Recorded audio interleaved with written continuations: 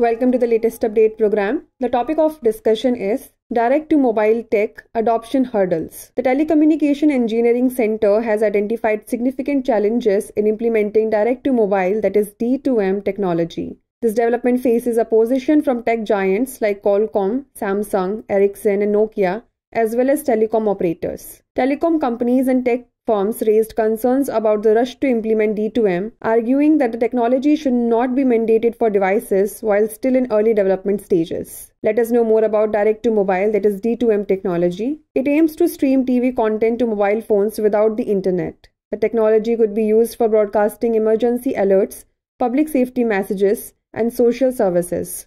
It also allows telecom companies to offload video content to broadcasting networks, reducing network congestion.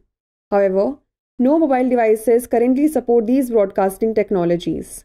Trials are being conducted in countries like the USA, Brazil, Mexico, and Canada. Let us now discuss its challenges. Difficulty arises in integrating smartphones with D2M and digital terrestrial TV to mobile devices technologies.